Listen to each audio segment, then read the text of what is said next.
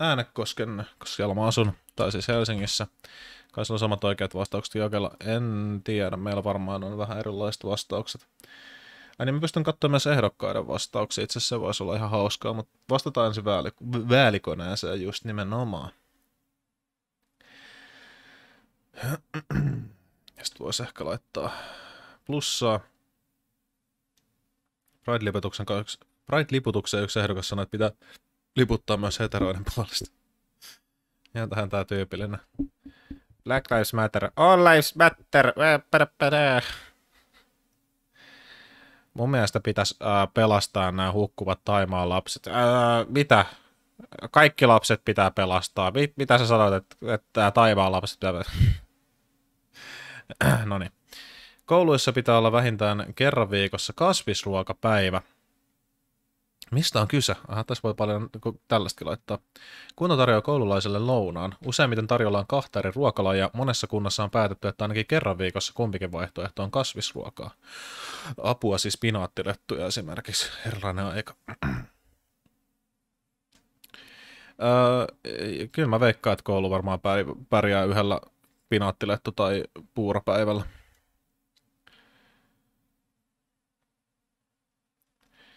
En mä, en mä tiedä, mistä tämä vastustaa. Kai tässä vähän sekin, että, niinku, että, että tämä on ollut jo juttu, mutta sitä on vaan kutsuttu kasvisruokapäiväksi. Se on ollut vaan semmoinen, että normaalisti meillä on muutamia semmoisia kasvisruokia, mitä koulussa sitten syöpetellään. Ja niin, jos sen kai pitäisi sitten vielä perustella, niin mun mielestä se on ainakin monipuolisuuden takia hyvä että tulee sitten monipuolista ruokavalioa. Et mun mielestä kouluruoan yksi toinenkin tehtävä on siis se, että se yksinkertaisesti myös näet erilaisia ja syöt erilaisia annoksia.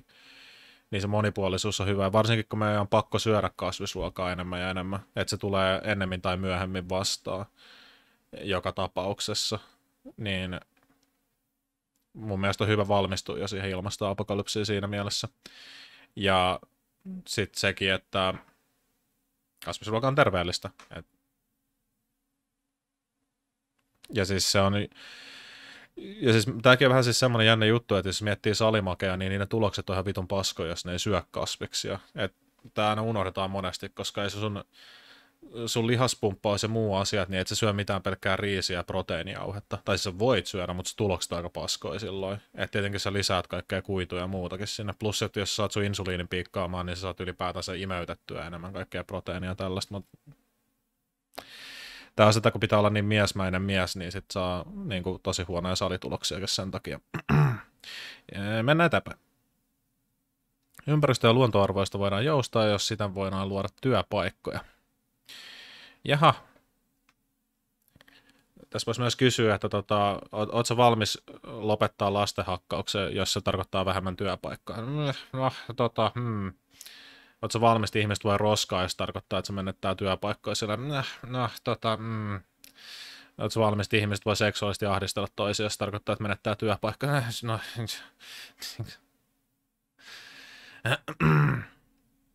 Nämä on hienoja kysymyksen muotoiluja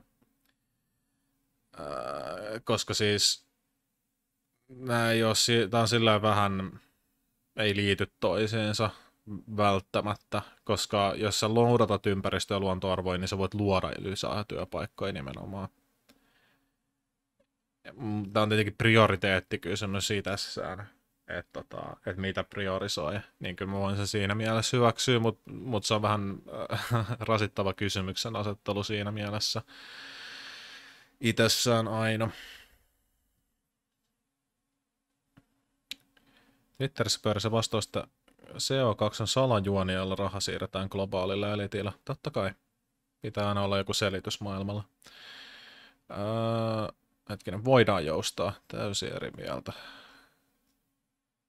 Niin, mitähän tässä on tässä, mistä on kyse kohdassa olisi? Tietyissä tilanteissa esimerkiksi kaivos- tai metsäteollisuudessa uusien työpaikkojen luominen voi tarkoittaa luonnon vaarantamista tai päästöjen lisäämistä.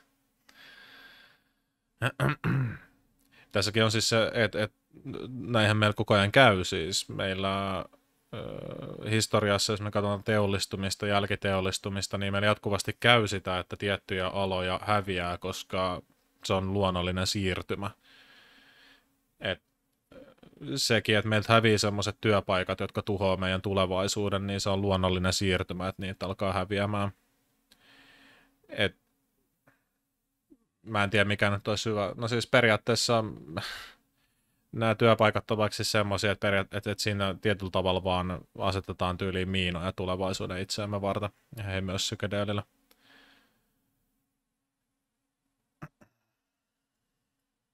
Mutta minun turpeet. Koronakriisissä pitäisi luottaa enemmän ihmisten vapaaehtoisuuteen kuin pakko toimia. No minähän tietenkin anarkistina kannatan tota Full HD tota repressiokonetta. Harmi kun kaikilta palkkapurhailta pyöpeleet on viety työt, niinpä. Tässäkin on vähän omituinen, mm, no joo. Siis mun, mun näkemys on se, että eh, näin niin anarkistisesta näkökulmasta niin pakkotoimet liittyy tiettyihin tilanteisiin. Et jos sulla on vaikka yhteisössä ihmisiä ja siellä vaikka leviäisi pandemia, niin et sä sillä että äh, no, en mä tiedä, kaikki nyt tekee mitä haluaa, totta kai siinäkin sitten muodostettaisiin, että kun yhteiset pelisäännöt ja pakotettaisiin sitten, niin kuin ryhdyttäisiin pakko toimii. Et joo, ja siis kun vapaaehtoisuus ei tarkoita mitään. Vapaaehtoisuus ei ole asia, olemassa oleva asia. Tämä on ehkä semmoinen, mikä mun mielestä olisi tärkeä käsitellä politiikassa tietyllä tavalla. Et se, se, se ei ole olemassa oleva asia vaan yksinkertaisesti tietyssä mielessä. Siis se, että toivoo, että ihmiset käyttäytyisi hyvin. Koska esimerkiksi just tämä, että jos on niin, että vaikka pyöräilijät tai autoilijat ei noudata liikennesääntöjä, se johtuu liikenneinfrasta että liikenneinfrassa on joku ongelma, jonka takia niitä liikennesääntöjä ei noudateta. Et esimerkiksi jos pyöräilijöillä on ihan hirveitä sokkeluja, ihan päin helvettiin tehdyt tietä kaikki muut, niin se lisää tai vähentää sitä kynnystä siihen, että rikkoo niitä sääntöjä, jolloin niitä sääntöjä rikotaan. Se on ihan sama kuin, että niitä rikotaan.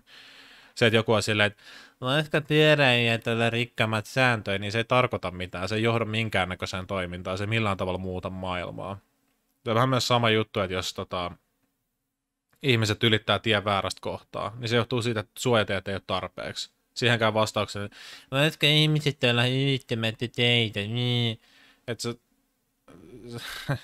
mä en tiedä kutsuisiko sitä jotain nillittämisen politiikaksi, joka ei koskaan muuta mitään, mutta se aiheuttaa nillitystä. Et, et sen takia niin kuin mun mielestä kaikki asiat liittyy aina ympäristön muuttamiseen, eikä siihen, että yritetään jotenkin vedota ihmisten toimintaan itsessään. Eli täysin eri mieltä. Mutta tässäkin on totta kai, mitä täällä tarkoitetaan, en mäkään ehdota sitä, että mä heitän sniperit katolle ja ne ampuu kaikki, jotka vahingossakin on kahden metrin säteellä toisistaan, et niinku, tai alle kahden metrin säteellä toisistaan. Et, et, mä en tiedä, pitäisikö mulla ottaa jokseenkin eri mieltä. Varmaan jokseenkin eri mieltä, kyllä niin siinä on joku semmoinen taso, missä se y- yhteisön, yhteiskunnan tai muu kontrolli voi mennä ihan selkeästi liian pitkälle jota mä otan jokseenkin eri mieltä. Kuntani pitää tarjota maksuton ehkäisy alle 25-vuotiaille. Täysin samaa mieltä. Mitäkään tässä lukee tässä, mistä on kyse? Ai kymmenet kunnat tarjoaa jo maksuttoma, en tiedä sitä. Mutta joo, siis varsinkin jos miettii siis alle 25-vuotiailta, niin, niin tota, opiskelijat ja nuoret työttömät, niin niillä on aika vähän rahaa.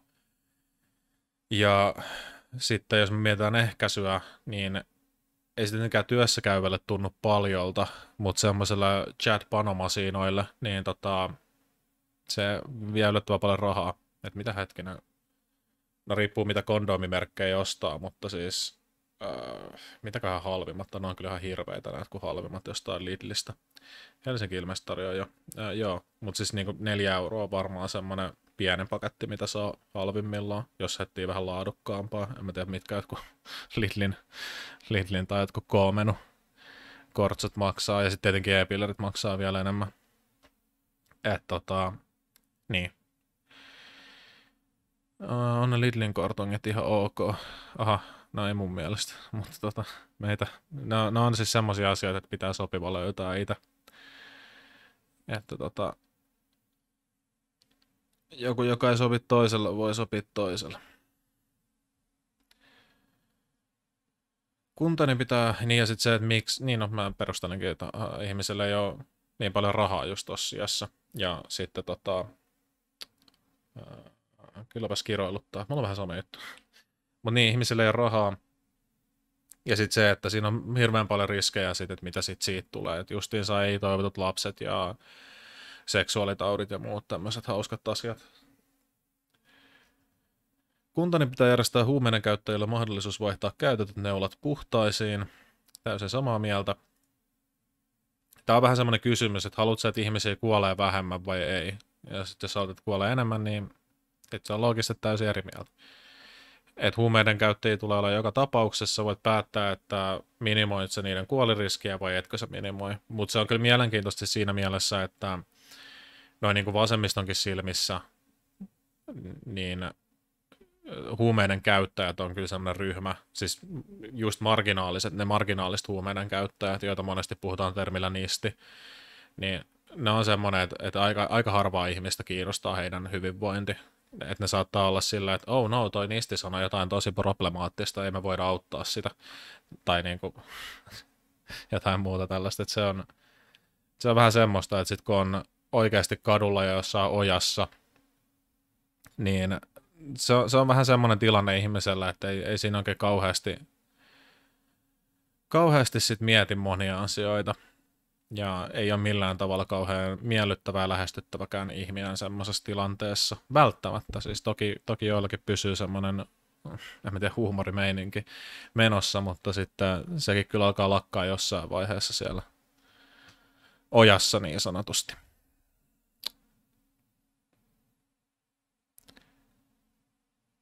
Puolitutta perso vastaus oli huumeet on laittomia ja niistä niiden käyttäjä.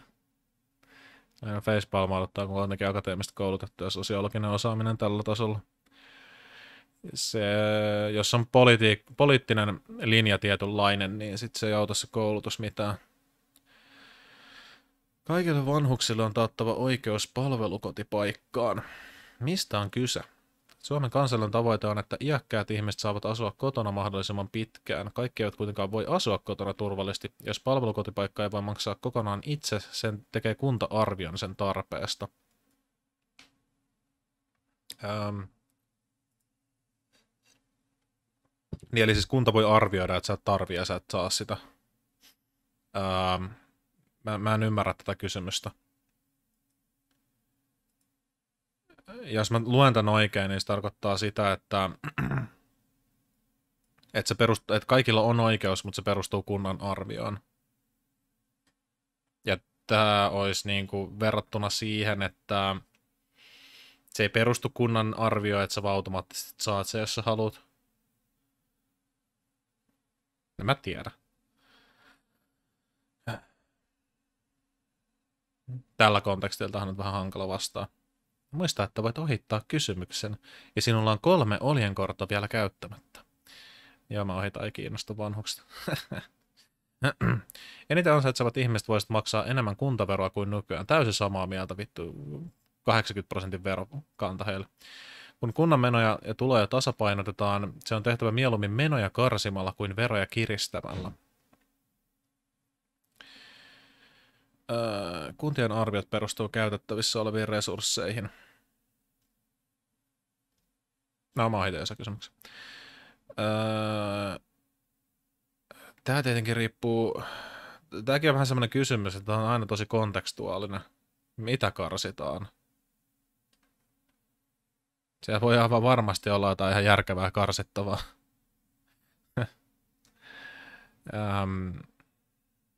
mutta mut mieluummin ehkä kiristetään veroja, mutta se riippuu, että et jos siis kuntaa sillä, että tota, ja no ehkä voisi vähän tasapainottaa vanhukset kadulle eikä mitään opetusta. Et, riippuu vähän, että mikä se tasapainotus on siinä.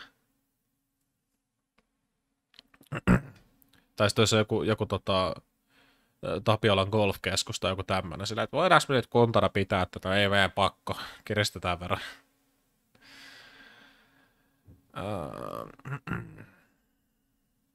Joten mä laitan jokseenkin eri mieltä.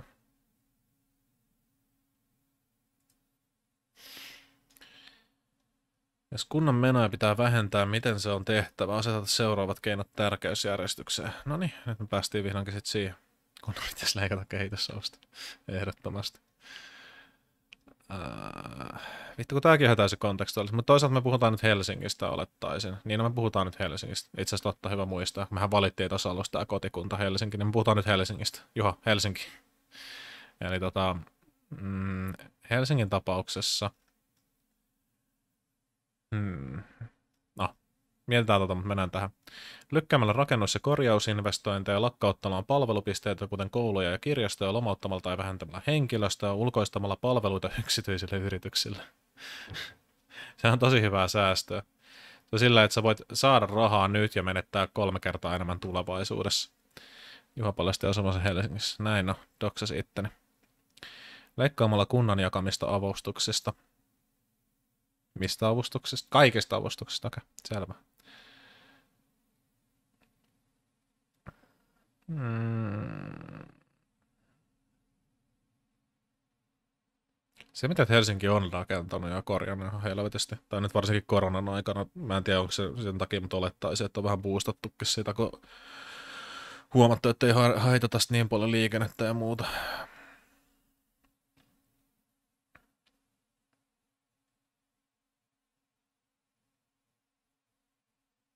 Tai ymmärtää, että yksi tämmöinen poikkeuksetta vähentäisi kuluja ja näin. Tehdään tämmöinen objektiivinen neutraali vaalikone taas. Tässäkin sillä, että tota, ää, nä, nä, nä, niin kuin aseta vaihtoehdot tärkeysjärjestykseen. Eli hetken, jos mä otan nyt vaikka tästä, niin meneekö tämä niin kuin ykköseksi? Okei. Okay. Joo. Uh...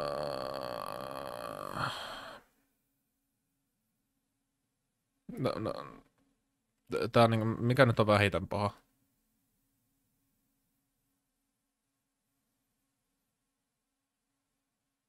Nämä on vähän niin kaikki väärin vastaan. Tai niin kuin tämä kysymyksen asettelu on vähän semmoinen. Koska ei politiikkaa tehdä sillä, että sä oot vaan sillä, että tota... Joo, no, ää, mulla on tämmöinen periaate, että mä aina ensisijaisesti leikkaan tota, tai lakkautan tota palvelupisteitä. niin, niin kukaan tee politiikkaa sillä öö, Joo, ihan sama, mä ohitan tänne, ei mua kiinnosta. Jos kunnan tuloja pitää kasvattaa, miten se on tehtävä? Aseta se tärkeysjärjestykseen. Taas kerran äärimmäisen kontekstuaalista, lainaan ottaminen varsinkin. En kyllä tiedä, mitä, kuinka paljon omaisuutta Helsingillä on. Ei mitään hajua. Ehdokkaat sen tasaa perustella parin tuhannen merkin verran. Joo, ne varmaan tekeekin. Myydään kunta.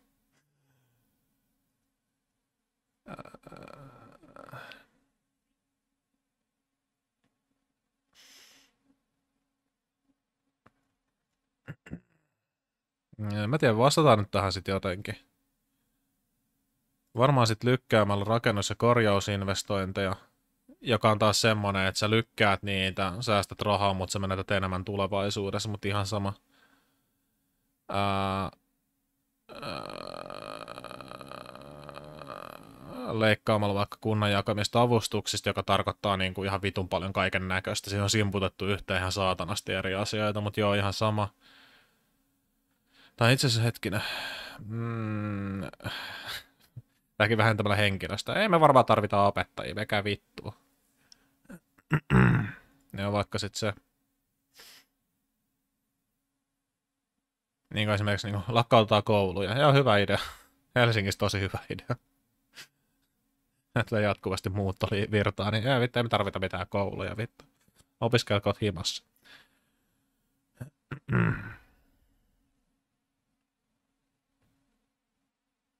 Mm, no, te, äh, tehdään näin, näin, näin, näin. Mä laitan ton viikaksi, koska astakaan vittu, saatan. Mut joo, sit mitä lisätään tuloja, niin tota...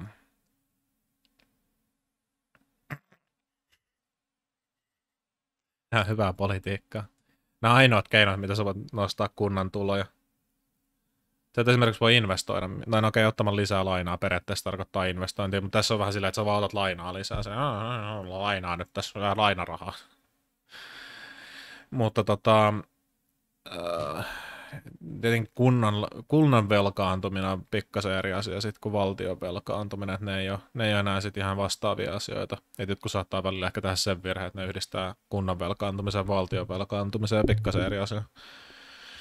Mutta joo, ähm, siltikin äh, lainan pointtina on ihan sama, mitä se on isommillekin yrityksille, eli se, että saatat lainaa ja investoit ja saat enemmän takaisin kuin mitä saatit sitä lainaa. Mutta tietenkin riippuu niistä lainaehdoista.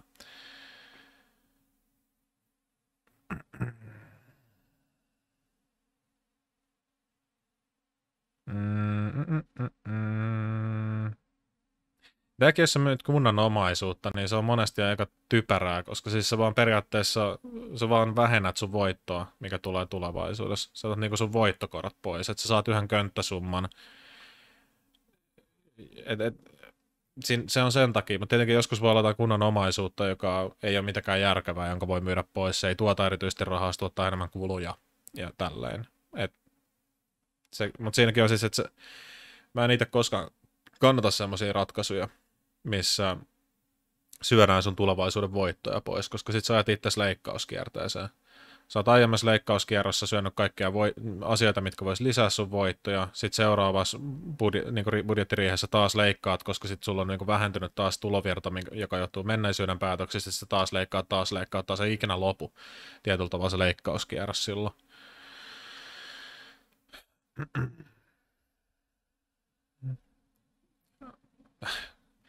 Kiinteistö, kiinteistöveronkin nosto ei, nosto ei aina ihan hirveän niin kuin, ei-problemaattinen, mutta tota,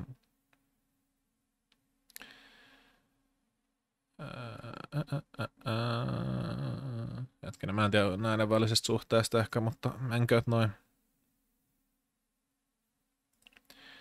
Näin. Palveluiden asiakasmaksut on semmoinen, että jos sä lähdet niitä nostamaan, niin se tota, aiheutat aika iso ongelma. Ja me todennäköisesti opittiin 90-luvun lamasta jotain tai se ei opittu toisen sanoen. Koulun on pidettävä yllä kristillisiä perinteitä. Nyt kiinnostaa, mistä on kyse. Lain mukaan koulujen uskonnonopetus ei saa olla tunnustuksellista, eli opetus ei saa olla uskonnon harjoittamista. Koulun vastuulla on huolehtia, että oppilaiden uskonnonvapaus toteutuu. Oppilaita ei voi velvoittaa osallistumaan esimerkiksi uskonnollisiin päivänamauksiin tai käymään kirkossa. Jaha. Ää... Näin. Eiku, näin. Eiku, näin. Eikö noin? Ja mä tiedän, uh, musta tuntuu vähän omituiselta siinä mielessä, että et, tota, uskonnottomien määrä jatkuvasti kasvava, kasvava tota, lohko ihmisiä, ja siis uskonnottomat, eli sitten se korvataan kaikella muulla, kuten esimerkiksi Elon Muskilla, mutta tota, kuitenkin en näe, että koulun rooli on ylläpitää kristillisiä perinteitä. Perheelle pitää maksaa kuntalisää alle kolmevuotiaiden lasten kotihoidon tukemiseksi. Koulun on pidettävä yllä pakannallisia perinteitä. No kieltämättä, jos koulu ylläpitäisi vaikka satanismin perinteitä, niin se antaisi tosi paljon hyvä, hyviä oppiteesejä ihmisille.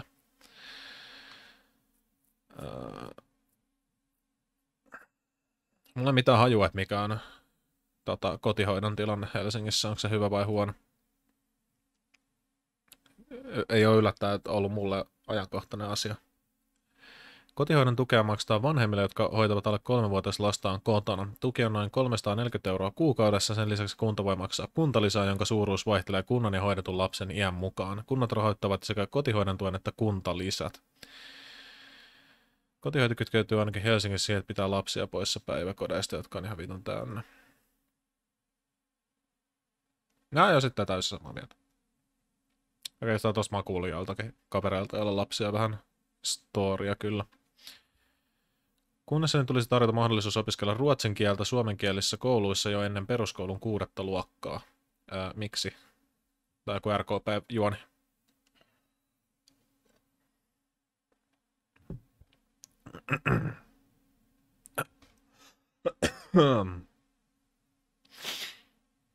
Sama se on kaikissa kaupallisissa päiväkotipaikat toki voi olla. Voi olla. Kantsiksi hankkii lapsi, niin, niin.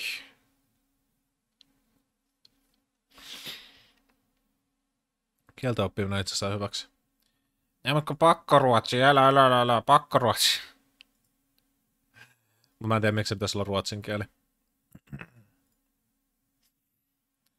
En ymmärrä. Kyllä mulla, mulla, mulla on vieläkin semmoista reaktiota eri puolta, että mä oon sillä, että ei. Näistäkään vittu. Varmasti lähti kaikki RKPn tyypit sieltä pois. Joka vaan hyvä asia. Toki mä en, niin, hmm. En mä kyllä usko, että se mitenkään helpottaisi äh, ihmisiä ne yläastetta. Ja siinä on myös se, että ruotsi on sen verran helppo kieli, että tota, sen verran helppo kieli, että mun mielestä se yläasteellakin onnistuu, koska sä et sä osaat englantia alaasteella, tai opit, engl- no, opit muutenkin, niin tota, itse ruotsi, mä itse ainakin pääsin ruotsin kielen kaikista kokeista ja muista vaan sillä, että mä osasin englantia, niin mä osasin päätellä, mitä sanat tarkoittaa. Maahanmuutto. No niin. Tärkeitä kunnallispoliittisia kysymyksiä. On tietysti, tietysti mielessä niin riippuu kunnasta, mutta tota, koska joissakin kunnissa tämä pätee erityisen paljon. Kuntani pärjäisi hyvin ilman maahanmuuttoa. Mistä on kyse? Maahanmuutolla tarkoittaa ihmistä muuttaa maasta toiseen. Mitä? Suomen väestössä noin 8 prosenttia on ulkomaalaistaustaisia, heistä yli puolet asuu Uudellamaalla. No siis tässä on vastauksena täysin eri mieltä, ja siis se pätee erityisesti tässä koronapandemian aikana. Et tota, meidän, meidän työvoima itsessään on siis hyvin vahvasti, varsinkin nämä kaikki volttikuskit ja muut, niin ne, on, ne, ne ei ole kantasuomalaisia niin sanotusti. Et Ruotsihan, Ruotsihan on tällainen kylmän uusliberaalisti ymmärtänyt sen, että maahanmuutto on vain yksinkertaisesti taloudelle hyväksi. Et sä saat lisää, sä saat, yksin, sä saat aikuista työvoimaa, jota ei tarvi kasvattaa.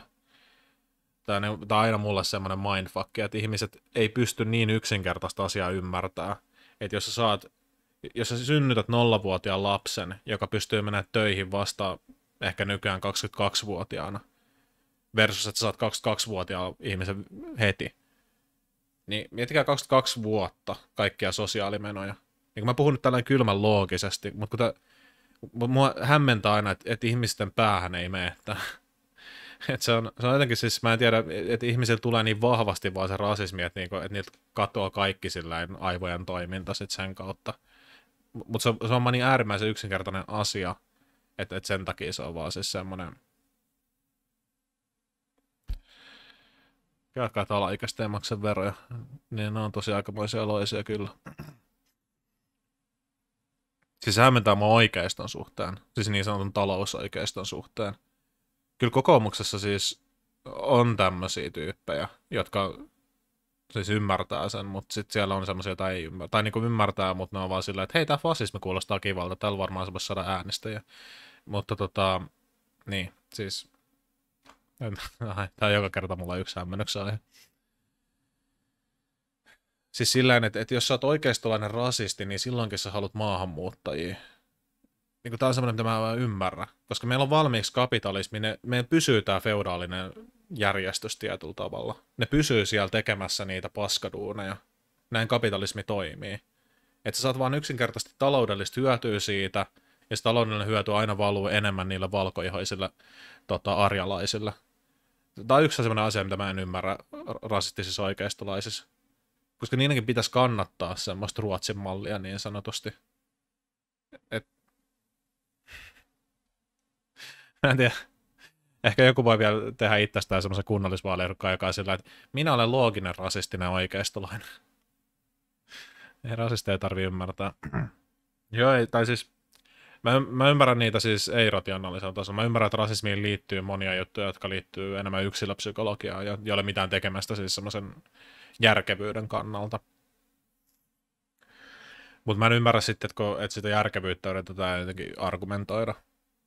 Ja sitten siinä on myös sekin, että tota, tämä on ehkä semmoinen pointti, mikä on tärkeä sen takia tehdä, että ihmiset myös ymmärtää, että miten tota, tämmöinen liberaali Ruotsin malli, niin ei ole mitenkään avoinmielinen ja hirveän salliva, se on sitä symbolisella tasolla, mutta reaal- reaalitasolla se on ihan samaa, mitä rasistit oikeistolaiset haluaa. Että tämä on just se, mikä, mu- mikä on vähän ongelma politiikassa. Että sulla on tyyppejä, jotka sillä, että me vastustetaan rasismia ja muuta, mutta ne kannattaa ihan samanlaista ää, rotusortojärjestelmää kuin ne muut, mutta niillä on sellainen symboli päällä siellä, jossa on niin kuin, kivoja lippuja ja muita, jotka näyttää kivalta. Eh, mutta joo, kuntari pitää edistää oliskeluluvan saaneiden turvapaikanhakijoiden kotoutumista. Joo. Mistä on kyse? Turvapaikanhakija henkilö, joka hakee suojelu- ja oleskeluoikeutta Suomesta, koska pelkää joutumansa vainotuksi tai muuhun todelliseen vaaraan kotimaassaan. Turvapaikanhakijoiden määrä vaihtelee vuosittain. Vuonna 2018 turvapaikkaa Suomesta haki noin 4500 henkilöä. Samana vuonna tehdyistä turvapaikkapäätöksistä 43 prosenttia oli myönteisiä. Kuten me, jos me katsotaan Suomenkin karttaa, niin huomataan, että kuinka täynnä Suomi on, niin tota, eihän tänne mahu. Öö, Mutta joo, täysin samaa mieltä. Vapaa-aika. Lähikirjastoja tarvitaan nykyistä vähemmän, kun kirjat ja muut aineisto muuttuvat digitaalisiksi. Täysin eri mieltä. Koska kirja, kirjaston rooli ei ole pelkästään tarjota kirjoja ää, kirjaston rooli on toimia semmoisena yhteisöllisenä, yhteisöllisenä keskuksena. Kirjasto tekee hyvin paljon enemmänkin kuin vaan ää, lainaa kirjoja. Plus sitten se, että me tarvitaan yhä paikkoja, missä ihmiset voi rauhallisesti lukea. Ja sitten ää, tota, niin kuin hengailla, ja sitten niin kuin, siis monesta kirjastosta pidetään kaikkea luentoja tai muita kulttuuritapahtumia, ja kirjastosta pystyy lainaamaan esimerkiksi porakoneita, kaikkia tämän tyylisiä asioita. Et kirjastot on mun mielestä tosi hyvin pysynyt tässä muutoksessa mukana ja monipuolistunut hirveän paljon. Ja se mahdollistaa hirveän paljon tämmöisiä niin kuin todella hyviä asioita, mitä siellä voi tehdä. Just esimerkiksi sekin, että ei jokaisella tarvitse olla iskuporokonetta, vaan se voi aina hakea kirjastosta. Ja sitten lautapelejä esimerkiksi lainataan kirjastoissa, ja kaikkea tämän tyylistä. Ja tota, niin itse sekin, mitä ja mä sanotaan niin kuin yleisenäkin vinkkinä teille kaikista tiedoksi, että, tota, että, urheiluvälineitä esimerkiksi saa kirjastoista aika hyvin. Silloin kun mä asuin Haagassa, Haagassa niin mä kävin hakemassa tota, siitä kirjastossa aina koripalloa esimerkiksi sieltä. Ja, tota, ja myös se, että se ei tosiaan ole, että, tai siis se on tosiaan julkista tilaa. Ja siis mun mielestä edelleenkin siis kirjat on hyvä asia että et sekin, sekin siinä edelleenkin on. Että vaikka se muuttuu digitaaliseksi muuta, niin on silti ihmisiä, jotka haluaa kirjoja. Ja kirjoissa on yhä jotain semmoista, mitä digitaaliset kirjat ei, ei tota varmaan koskaan tule kuitenkaan syrjäyttämään.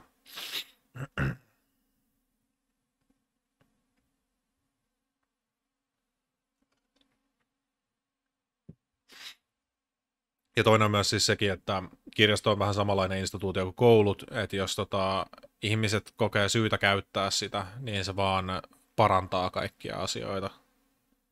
Että se, että jos joku lukee kirjan, niin sit se siis on vapaaehtoisesti sivistänyt itseään, tehnyt itsestään tota, kyvykkäämän ihmisen meidän tota, mahtavaa valtiota varten. Kuntani pitää antaa koulujen salit ja muut kunnalliset liikuntapaikat maksutta urheiluseurojen käyttöön, kun on kyse alle 18-vuotiaiden harrastuksista. Kunnat omistavat paljon liikuntapaikkoja, joiden käytöstä peritään maksua seuroilta ja yhdistyksiltä. Tämä on tietenkin mun mielestä ehkä vähän kontekstuaalista, siis siinä mielessä, että on urheiluseuroja varmasti, jolta voi ihan varmasti hyvin pyytääkin maksua. Mutta tässä on kyllä kyse alle 18-vuotiaiden harrastuksista, niin mun mielestä täysin samaa mieltä. Kunhan se ei siis mene siihen, että sillä tehdään liikevoittoa sitten enemmän. Tietenkin, kun jos sä harrastat jotain liikuntaa jossain seurassa, niin sitten pitää maksaa sille seuralle. Niin sitten ne pyrii ihan samaan hinnan, mutta ne ei maksa kuitenkaan mitään niistä liikuntapaikkojen käytöstä ja tällaisesta, niin se on mahdollinen ongelma. Mutta mä näytän nyt, on silti täysin samaa mieltä. Koska urheilu on just semmoinen asia taas kerran, että jos sä, jos sä tuet urheilua, niin taas kerran sä laitat hirveän paljon vähemmän rahaa johonkin, kuin mitä se tulee, ja sitten se niin kuin, ei tule maksamaan niin paljon tulevaisuudessa. Et meillä on hirveän paljon erilaisia tota, sairauksia ja kroonisia juttuja, mitä tulee, jos niin kuin, liikunnan määrä jää tosi vähäiseksi. Et, mitä enemmän meillä on justiinsa nämä ulkoliikuntapaikat, mitä on tullut yllättävän paljon mun mielestä tässä niin kuin, tällainen kymmenen vuodenkin jaksolla ollut tosi hyviä. Siis tämmöistä, missä on näitä, että voi nostella jotain isoja niitä pöni, niitä tota, puuhommia ja sitten voi vetää leukoja ja sitten on niitä oman kehon painolla toimivia juttuja, niin ne on mun mielestä hyviä. Kaupungin pitäisi ulkoistaa liikuntaharrastuksia seuroilla. No meitä usko jollakin tavalla kyllä yksityiseen sektoriin, koska mä ankap. Et siinä on kyllä jotain semmoista mun mielestä, mikä pitää yhä olla väylänä, jonka takia mun mielestä kolmas sektorikin on edelleenkin järkevä asia. Asetuksen lähellä pidettävien konserttien ja tapahtumien melurajoja tulee tiukentaa. Öö, vittu täysin eri mieltä. Vittu kunnan meihemmit jatkuvasti päällä. Ää, hetkinen, mä oon ihan varma. Mä en tiedä kuinka iso ongelma tää on Helsingissä.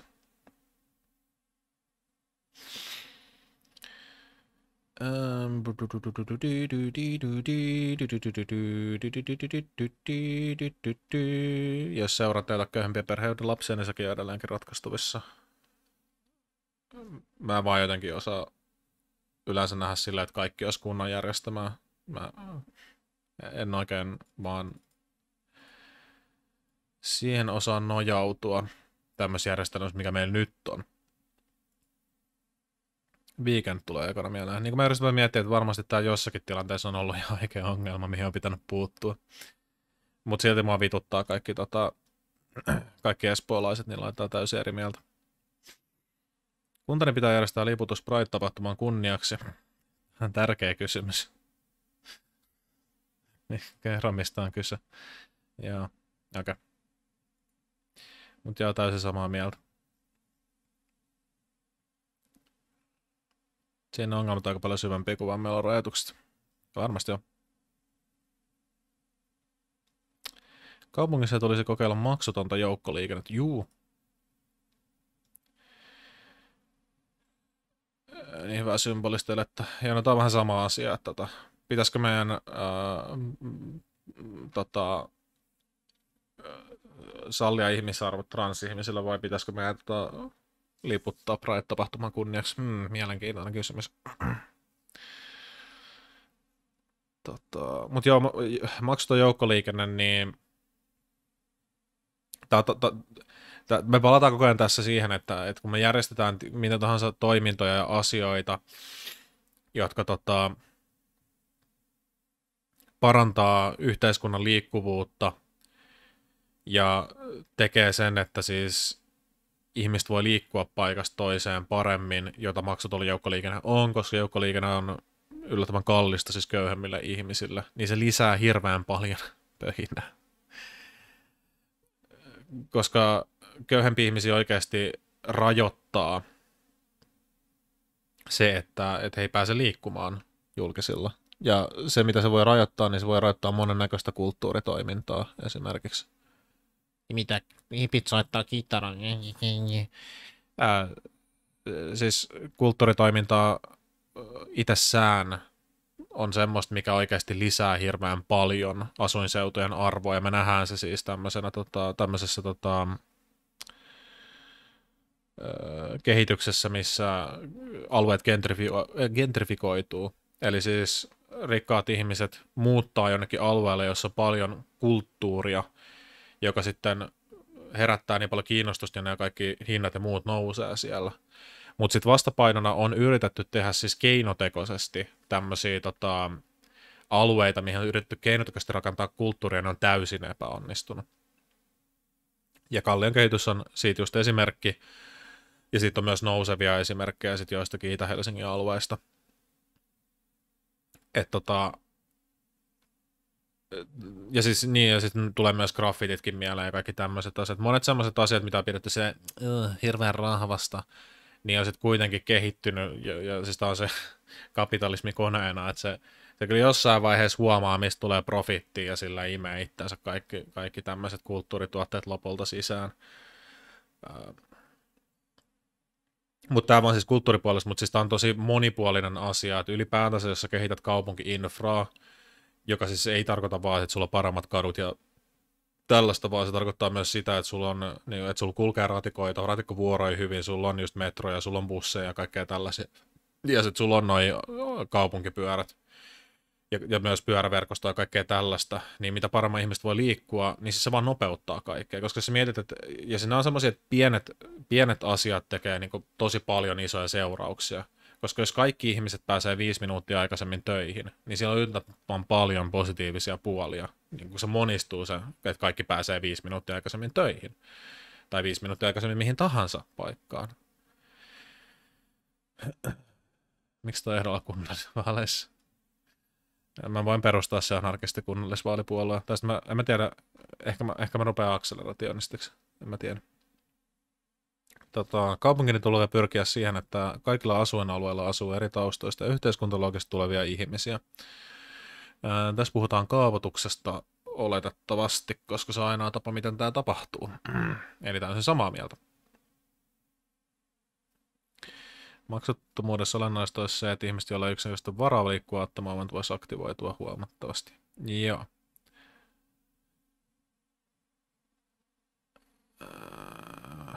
Mutta tota, tämä kaavoituspuoli,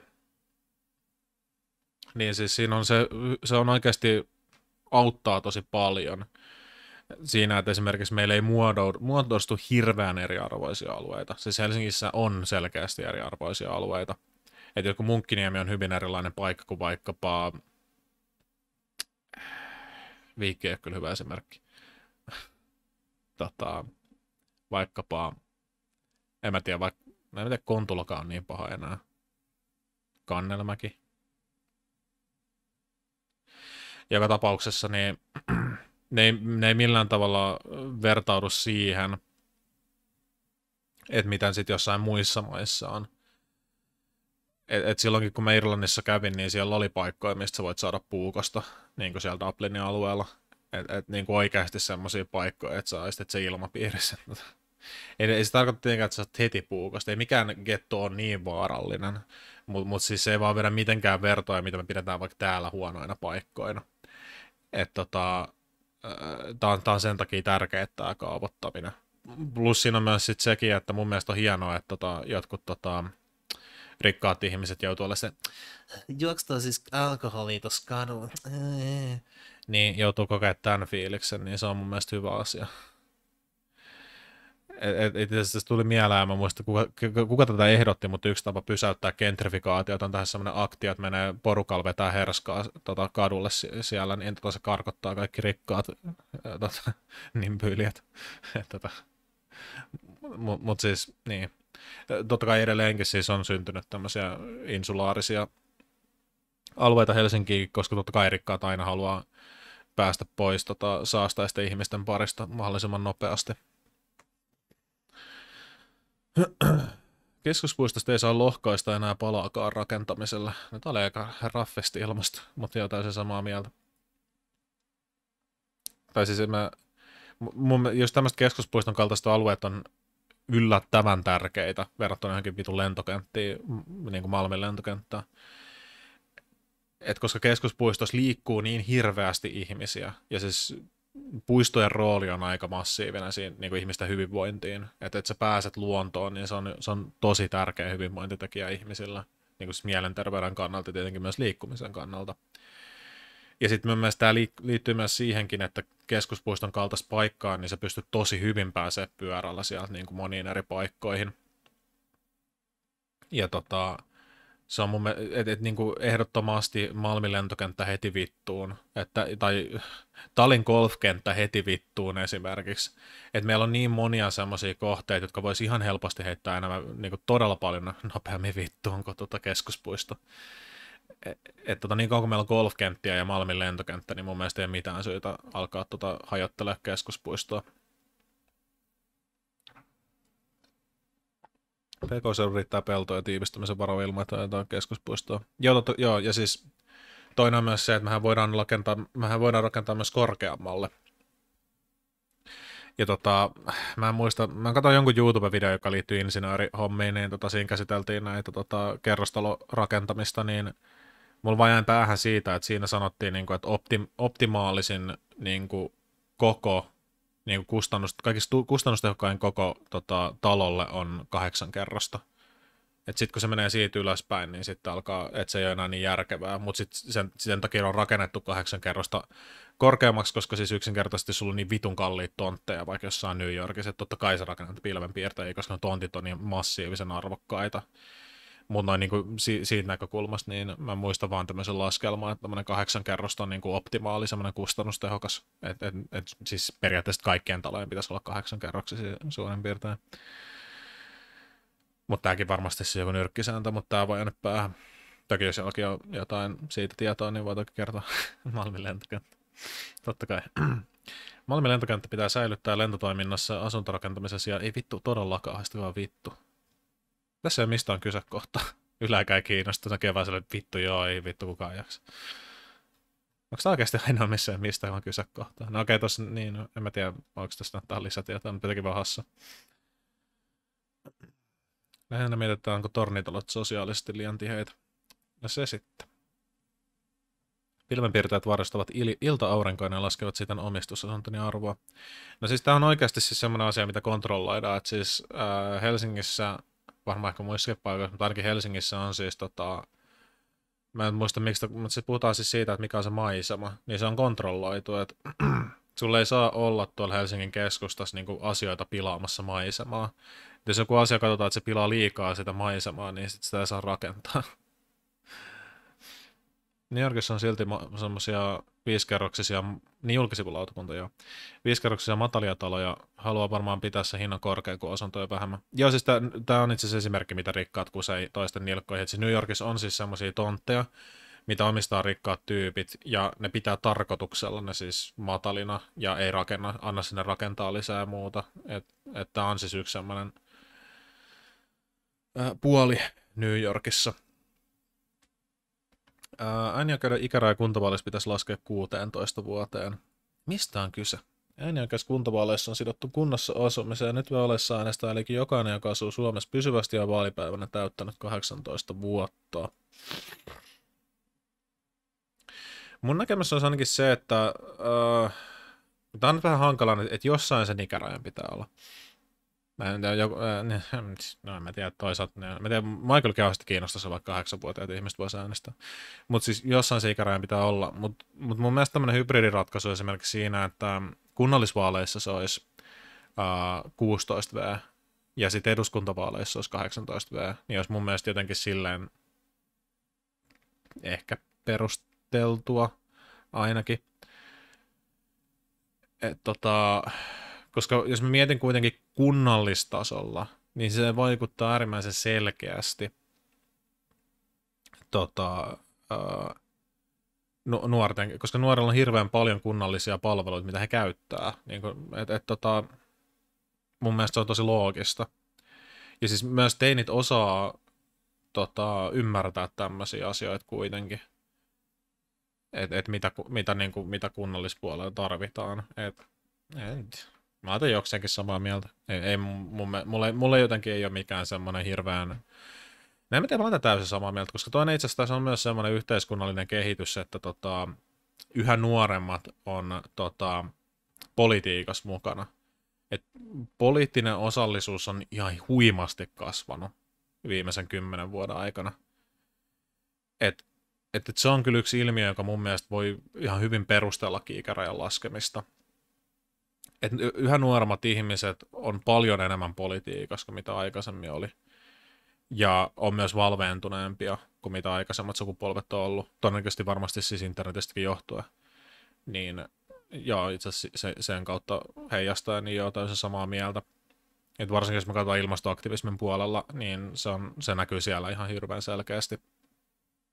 Ja sitten on myös tämmöistä, että e, e, et politiikka ei läheskään niin kringiä kuin mitä se on joskus aikaisemmin ollut. Et politiikka on selkeästi tullut jonkunnäköiseksi tämmöiseksi vähän niin kuin valitettavasti myös symboliseksi hyväksi tietyssä mielessä, mutta tämä on ehkä semmoinen asia, että, että, että se voi ärsyttää, mutta mä en osaa oikeasti silleen kokea sitä huonona asiana. E, että se menee siis semmoista joku silleen jossain Instagramissa, no siis mä joo, politiikkaa, joo joo, ja, jaetaan hashtageja, niin se ei mua ha- silleen osaa ärsyttää, koska jostain se aina alkaa tietyllä tavalla. Et, et tota, sen takia mä en, mä en sille lähde sitä kauheasti tuomitsemaan tietyllä tavalla. Yksi poliittinen aktivisti, että sulla on punamuista näyttökuva Twitterissä vittuilet livellä. Sekin on, joo. Se on alku. Se on ihan hyvä alku. Nuoret ovat radikaaleja vihervasemmista opettajia aivan pesemiä. Ja siinä on myös se, että nuoret on kyllä äh, tota, äh, huomattavasti parempia kuitenkin. Jos me kuitenkin verrataan sille mietitään tota, yli 50 ja sitten nuoria ja sitten ollaan sellainen, mm, kumman valitsis, niin me yllättävän monessa asiassa päätyisin niihin 16-vuotiaisiin tyyppeihin. Kuntani valtuusto tarvitsee käyttäytymisohjeet, joissa määritellään millainen käytös ja puhevaltu- tai puhevaltuuston kokouksissa on kiellettyä. Kuntalaki edellyttää, että luottamushenkilöt käyttäytyvät arvokkaasti tehtävän edellyttämällä tavalla. Pitää, suju- päätöksenteon pitää sujua poliittista erimielisyyksistä huolimatta. Jossakin kunnissa on laadittu erilliset ohjeet siitä, mitä pidetään epäasiallisena käytöksenä ja mitä siihen pitäisi puuttua. Case Lawson versus Lokka. Joo, mutta tämä nyt pätee hirveän paljon siihen, että minkälaisia käyttäytymisohjeita ja minkälaisia rangaistuksia. Mutta tota,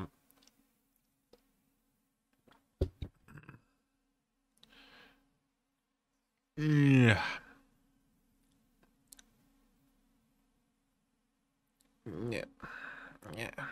Jokseenkin samaa mieltä ehkä. Äh, en mä tiedä, tämä on vähän semmonen... Hmm. Edelleenkin mitkä käyttäytymisohjeet. Et, et, et kyllä mun mielestä siis, et, et kyllä se joku raja pitää olla tietyllä tavalla. Kun sä et voi kuitenkaan lyödä sitä toista jos meillä olisi semmoinen käyttäytymisohje, että niin kuin kaikki menee, mutta sä saat lyödä, jos joku solvaa sua tai haastaa se kaksintaisteluun, niin sit mä olisin ok, että ei olisi mitään käyttäytymisohjeita. Et, et, et sit, sit, sit se olisi, että olisi joku nyrkkeilymatsi tai joku muu. Et, et semmoinen olisi mun mielestä ihan ok. Meillä on nykyään se valtuusto, kun kampanjille tulee aika tolkkua linjaa. Joo, en mä tiedä. Ehkä mä otan jokseenkin eri mieltä, koska en mä ehkä laita täysin, mutta jokseenkin ehkä eri mieltä. Ja me puhutaan myös Helsingistä, niin en mä tiedä. Mun, mun mielestä myös sekin, että, että, että mä kyllä haluan nähdä tiettyä Bloodsporttia. Mutta mun mielestä se olisi, se olisi kyllä niin base, että voisi kaksintaistelua haastaa valtuustoedustajat toisia. Tätä. Sitä mä kannattaisin. Miksi vaalikoneessa ei sitä kysytä? Mä olisin heti sen kannalla. Ja siis ei sen tarvi olla mikään pistoolidueli, mutta siis että se voisi olla joku nyrkkäilykähän, niin ehdottomasti. Politiikassa tarvitaan vahvoja johtajia, jotka panevat asiat kuntoon ilman kompromisseja. Nope. Valmista tuli. Siirry tuloksiin. En tiedä kuka on Vesa Korkkula. Mutta voi Vesa. Vesa sun etutöölössä, en äänestä. Lauri Alhojärvi, en tiedä kuka on Lauri Alhojärvi. No minne Koskela mä tiedän.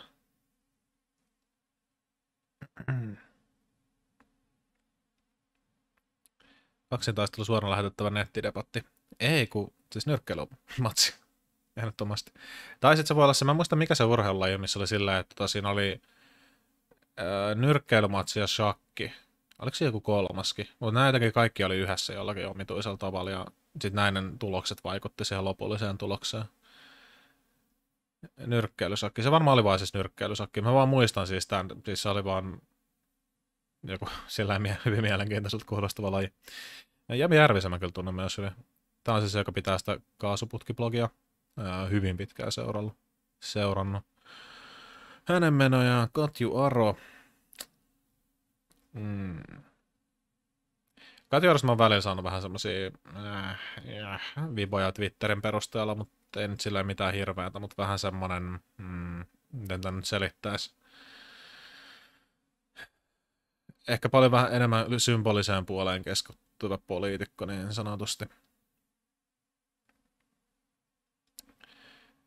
Uh, mutta feministiset puolueet, no en mä tiedä, ei mua silleen, mä kiinnosta kunnallisvaalit niin paljon, mutta kuitenkaan niin en mä, en mä feministiset puolueet lähtisi äänestämään. Eikä varsinkaan vihreitä, kun me katsotaan, mitä vihreät on tehnyt Helsingissä. että tota, todennäköisesti äänestäisin vasemmistoliittoa, mutta tota, joo. F-puolelle unohtuu, unohtuu kyllä luokka-aspekti. Ei se unohdu, mutta se joillakin ehdokkailla unohtuu. Mutta tota, ei, ei koko F-puolueesta voi sitä sanoa, ainakin ne mitä ehdokkaat mä sieltä tunnen tai tiedän.